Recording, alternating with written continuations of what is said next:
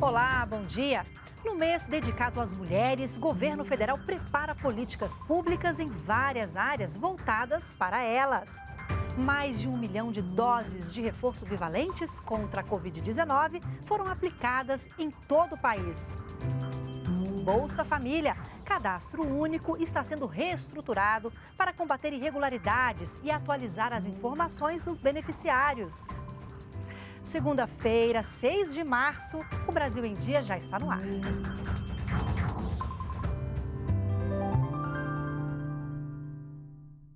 Oito horas da manhã, estamos ao vivo também pelas redes sociais. Semana da Mulher. Para comemorar a data, nós preparamos uma série de reportagens. A primeira delas mostra a importância de o governo Lula ter criado o Ministério das Mulheres. Vamos ver. Quando Dona Vera Lúcia foi mãe, 33 anos atrás, ela acreditava que era mais fácil conseguir vaga em uma escola pública, ou pelo menos ter acesso a convênios em escolas particulares. Hoje, acompanhando a rotina da filha, Raíssa, e dos dois netos, a história é diferente. A dificuldade de se colocar uma criança numa escola pública, numa instituição pública, é muito difícil e se torna pesado para a mãe, que trabalha, que, que corre atrás, que, que tem que criar seus filhos. É mãe, mulher, é profissional. Essa é a Raíssa, a mãe do Benjamin, de 8 anos, e da pequena Duda, que vai fazer dois aninhos. Como qualquer mãe, ela se preocupa com o futuro dos filhos. Depois que essa criança nasce, como é que o Estado vai dar esse suporte para essa criança? E não só colocar nas costas de uma mulher a responsabilidade de criar essa criança. Em 2003, durante o primeiro governo Lula, foi criada a Secretaria Especial das Mulheres. Agora, 2023, há o Ministério das Mulheres, especialmente para cuidar das principais demandas do público feminino, especialmente das mães, que muitas vezes têm jornadas duplas e até jornadas triplas de trabalho. A creche creche e a escola é um direito da criança, que ajuda, possibilita a mulher a ir para o mercado de trabalho. Mas também é aquela que não ajuda em muitas vezes, porque a creche fecha às 5 horas. A mulher tem que 5 horas sair do trabalho e pegar a criança na creche. Então, como é que nós vamos repensar a estrutura e se esse é o principal instrumento de fazer, de diminuir a questão da sobrecarga da mulher. E o que será que a Raíssa sonha para a filha?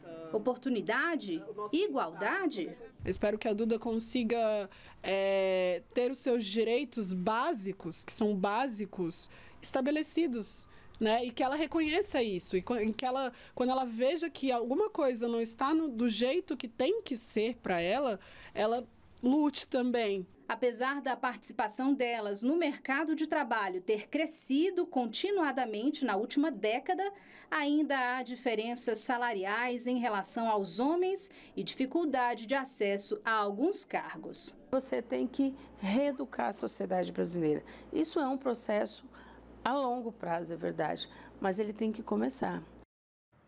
O governo já contabiliza a aplicação de mais de um milhão de doses de reforço da vacina bivalente contra a Covid-19 desde o início do Movimento Nacional pela Vacinação. Vamos ao Rio de Janeiro saber os detalhes com o repórter Tiago Pimenta. Tiago, bom dia para você. Bom dia, Natália. Bom dia a todos. Faz uma semana que o Ministério da Saúde retomou, deu largada aí no movimento nacional pela vacinação e o balanço é esse que você trouxe, né? Até o momento, um milhão de doses aplicadas contra a Covid-19 nos grupos prioritários. Quem são eles? Pessoas com 70 anos ou mais, aqueles que vivem em instituições permanentes, aqueles imunocomprometidos, os quilombolas e também os indígenas. Ao todo foram distribuídas em todos os estados e no Distrito Federal 19 milhões de doses.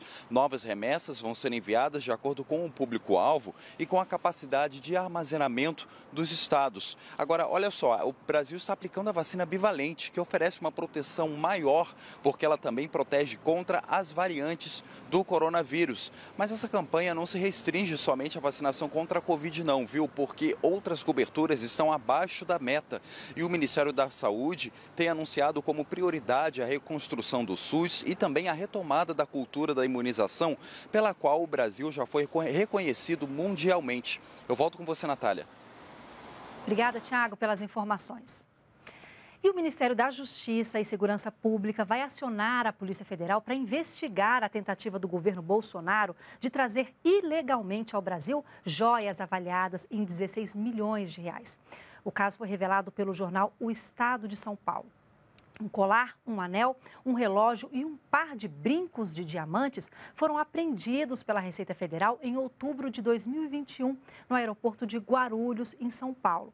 As joias estariam na mochila de um assessor do então ministro de Minas e Energia, Bento Albuquerque. Eles retornavam de uma viagem oficial ao Oriente Médio. A assessoria do ex-ministro informou que as joias eram presentes institucionais da Arábia Saudita e que, por isso, o ministério adotaria as medidas cabíveis para o correto encaminhamento do acervo recebido. A Receita Federal informou por meio de nota que não houve tentativa de regularização dos itens. E também não houve um pedido fundamentado para incorporar as joias ao patrimônio público. 15 milhões de pessoas já consultaram se tem algum dinheiro esquecido em bancos ou outras instituições financeiras. A devolução do dinheiro começa amanhã. São 6 bilhões de reais em valores a receber, disponíveis para 38 milhões de CPFs e 2 milhões de CNPJs. Esse dinheiro vai ser devolvido para pessoas, empresas, herdeiros citados em testamentos e pessoas com conta conjunta que tiveram tarifas cobradas indevidamente, que deixaram de retirar cotas de cooperativas de crédito ou de consórcios ou contas encerradas com saldo. Para descobrir se você tem dinheiro esquecido em alguma instituição financeira, basta acessar o site Valores a Receber. É preciso ter em mãos o seu CPF e data de nascimento, ou CNPJ e data de abertura da empresa. Os valores começarão a ser pagos no dia 7 de março. Para resgatar o dinheiro, é preciso fazer login na conta gov.br. Ela precisa ser de nível prata ou ouro. Para aumentar o nível da sua conta, baixe o aplicativo gov.br e siga as orientações. O pagamento, o recurso, sairá da instituição financeira para o cidadão. Se ele fizer a opção de resgate via Pix, a instituição aderente a essa opção de pagamento via Pix fará o Pix e o crédito ocorrerá na conta do cidadão. Se o cidadão não quer receber por Pix ou se por acaso a instituição não tem essa forma de pagar, será necessário que o cidadão se dirija à instituição financeira e combine ali a forma de transferência do recurso. O Banco Central destaca que não envia links nem entra em contato por ligação.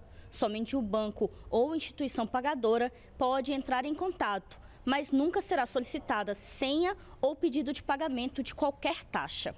Esse serviço do Banco Central é gratuito, então você nunca deve pagar para ter é, informações sobre valores a receber. A consulta é gratuita, feita no site do Banco Central.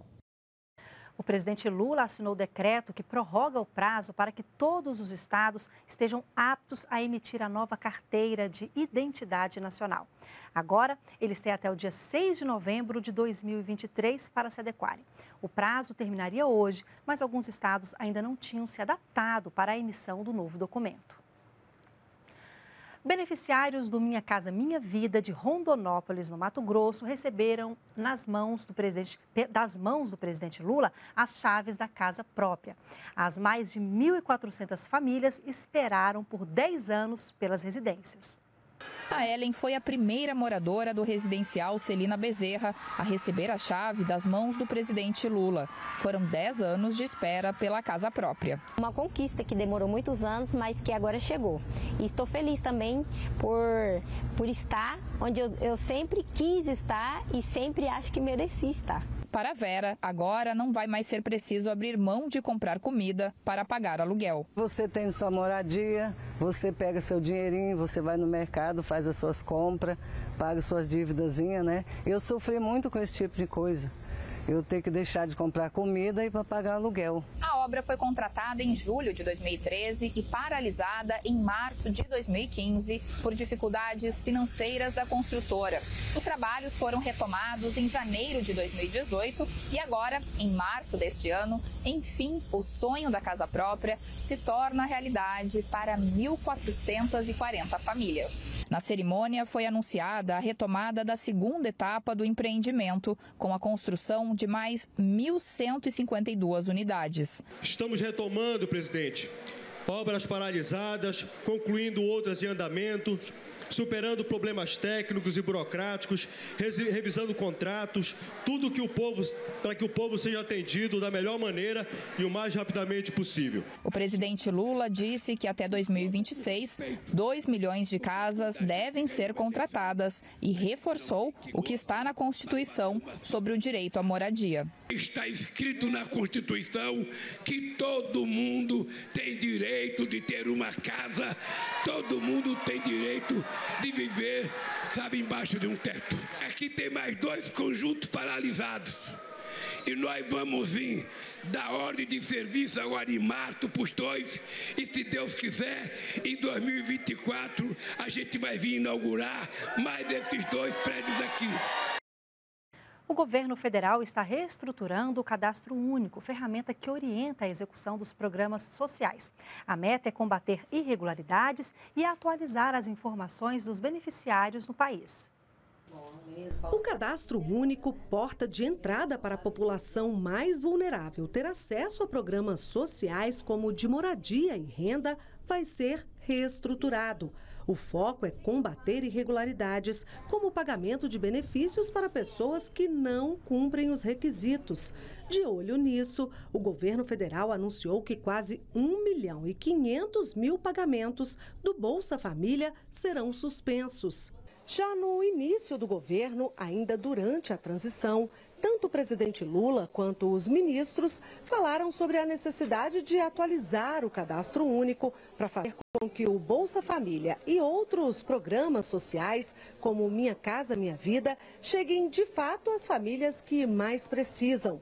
Em todo o país, 12 mil pessoas serão contratadas para a atualização do cadastro. Quando tem apenas uma pessoa, a gente quer uma boa justificativa, um profissional é, é, credenciado vai ter que assinar ali, é, é, é assumindo responsabilidade sobre o preenchimento de requisitos para estar no programa. Com a nova configuração do Bolsa Família, em março, 8,9 milhões de crianças de 0 a 6 anos passam a receber o adicional de 150 reais. O investimento do governo é de 1,34 bilhão de reais. A partir de junho, começa a ser pago o benefício variável familiar de 50 reais para as famílias divididas da seguinte forma: com crianças de 7 a 12 anos, que somam 7,1 milhões.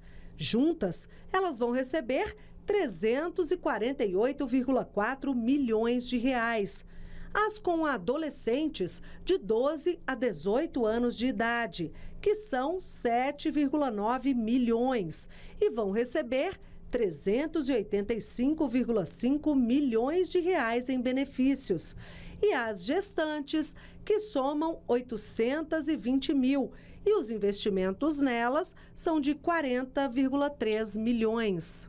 Quando a gente faz a transferência de renda, além de ter um dinheiro para alimentação, só a transferência de renda já tira é, essa família, não é, por uma renda mais elevada da extrema pobreza. E a gente fica por aqui. Para rever as reportagens, acesse as redes sociais da TV Brasil. Uma ótima segunda-feira para você.